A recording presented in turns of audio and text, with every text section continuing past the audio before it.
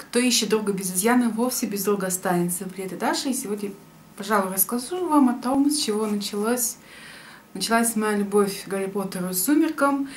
И если от Сумерек я начала сейчас уже немножечко отходить, то Гарри Поттера я по-прежнему нежно и трепетно люблю. С него и начнем. Много-много лет назад я была анимешницей. Ну, видимо, человек, который раз увлекся аниме, навсегда и останется. Я вот лет пять, наверное, уже не смотрела точно аниме, а тут что-то начала косяка на него давить. А, ну, в те стародавние времена интернет еще был модемным. Ну, имеется в виду модем от городского телефона – тот самый, который жутко шумел при подключении, и когда ты в сети на городской нереально было дозвониться. И этот, этот интернет был очень дорогой. И какой там YouTube?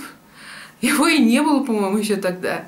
Даже картинки грузились подолгу, и это очень сильно трафик э, подрывало. Я сделала на форуме анимешном, и там был раздел «Все обо всем», где в том числе обсуждались и книги. Была очень большая шумиха из-за Гарри Поттера.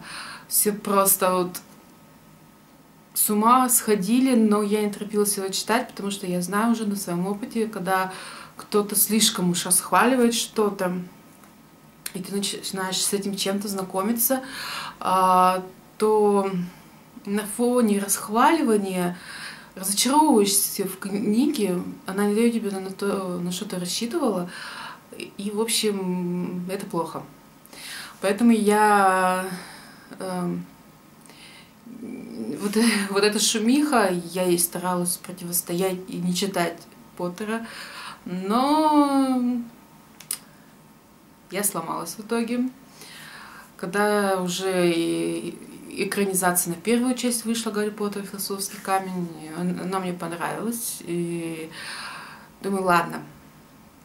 А, была приобретена книжка одна на пробу. Пойдет, не пойдет. Я села и стала читать. И тут я понимаю, что что-то здесь не так. Вообще не так, как в экранизации, которую я уже успела посмотреть. А, и я заподозрив неладное. Посмотрела, там же есть э, перечень, в каком порядке нужно читать. Я смотрю, батюшки, это уже Гарри Поттер, Кубок огня.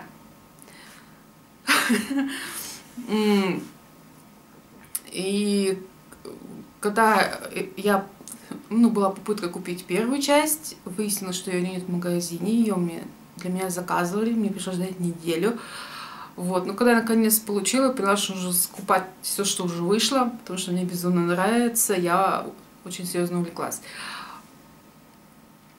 И хорошо, что я так долго ломалась, потому что, представьте, после каждой книги я бы сидела и думала, ну когда, ну когда, ну когда будет следующее.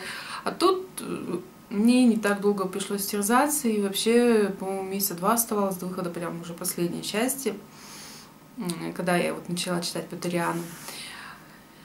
Кстати, а, последняя часть не попала достаточно а, рано утром, выходной день, слава богу, потому что я вот как села читать, я от нее не отлипала. Я только и делала весь день, что я читала. И, по-моему, закончила читать в 4 или 3 утра уже, ночи. Как это, что это? Я постоянно повторяла Роулинг гений, Роулинг гений, Роулинг гений, потому что я знаю, не все любят профессора Дамблдора, но мне он нравится тем, что он не, сдержан, дипломатичен, очень деликатен и корректен. Я очень ценю в деликатность. А, и даже в те ситуации, когда даже самый сдержанный человек по мостике бы как заехал хуком справа, он на то оставался на вид спокойным и не, не выплескивал эмоции. Мне нравилось его чувство юмора. Гарри — это большой секрет, и поэтому о нем знает вся школа. Вот. И почему постоянно твердила на протяжении последней части Роллинг Генни, Роллинг Генни, потому что Дамблдор предвосхитил совершенно все. Даже то, что произошло после... Спойлер будет, как бы так сказать, Ну, после той ситуации на башне в Хогвартсе, когда они с Гарри вернулись после попытки в пещере ослабить силу Волан-де-Морта, даже после того события, то, что он предвосхитил, оно и правда пошло по его плану. Единственный момент, когда я рассердилась на профессора Дамблдора, когда выяснила, что он, эм, опять эта ситуация, когда он готов пожертвовать был кое-чем для достижения высшей цели, э, вот, но все равно я его потом простила, я поняла его точку зрения, и, и все стало хорошо. Так что да, вот таким было знакомство мое с Патрианой. Э, и, да, и теперь о сумерках. Тут все я короче обскажу.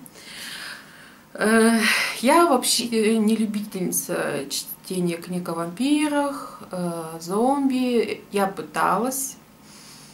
В принципе, неплохо. Но без рыбы рак рыба, ну, как-то вот не для меня целая сирень. Тут э, наш секретарь меня стал вот прям доставать. Даша, почитай, Даша, почитай, Даша, почитай. Уже вышла и первая экранизация на первой части. Она мне понравилась. Когда я прочитала книги, она мне резко разонравилась, как и остальные. И она вот мне даже Марина, э, она упрямая, так что я в итоге согласилась прочитать. А, она даже мне скачала сама эти книги и переименовала их, чтобы я понимала, в каком порядке читать. Я прочитала и прониклась, мне понравилось. И вот до какой степени все-таки они пробивают читателя, что вот у меня есть напарница, она никогда в жизни ничего не читала, даже учебники. Ну вообще, от слова совсем ничего не читала. Но «Сумерки» она прочитала. Все, да. А, вот такова была моя история знакомства с «Сумерками», Патрианой. И, собственно, на этом все. Вдохновения вам. До скорых книг.